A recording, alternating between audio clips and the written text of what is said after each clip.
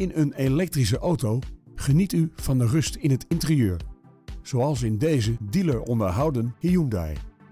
De auto is van het bouwjaar 2018. In deze auto hoort u alleen het zoomen van de elektromotor. De auto heeft een automatische transmissie. Het is een compleet uitgevoerde auto met onder meer stoelverwarming voor, een regensensor en elektrisch bediende ramen. Tevens vindt u op deze auto parkeersensoren voor en achter en dakrails. Wilt u een proefrit maken met deze elektrische auto? Maak dan nu een afspraak.